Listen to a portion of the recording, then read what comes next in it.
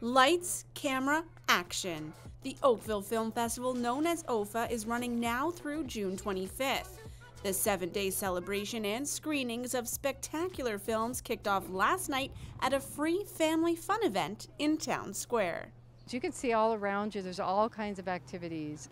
Everything from Lego to drawing walls to big blue blocks to the library truck to the OFFA Name That Movie game. And then we have crafts and uh, birdhouse making and um, all kinds of really interesting stuff going on.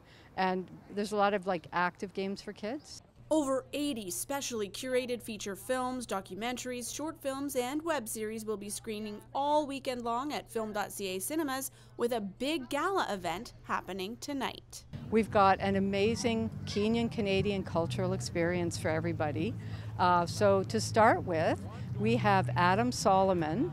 Uh, performing. He's a Kenyan Canadian artist, just amazing. He's a Juno Award winning artist. And we have Kenyan dancers as well that will be outside at the Oakville Center dancing for you. We also have um, uh, lots of stuff going on inside as well. And then, of course, uh, the hit of the evening is Kip Kemboi. Kip Kemboi is an amazing Canadian uh, film. It's Kenyan Canadian with a Nigerian director, Charles uh, Uwagbe. But it's just an amazing film about a young boy who basically turns the financial system upside down uh, because he's a genius and he invents an algorithm to disrupt, to disrupt the stock market.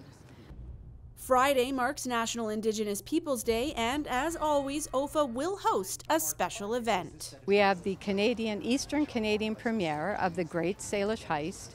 Now, this is an Indigenous heist comedy. And it's the first of its kind. There's no other film like this.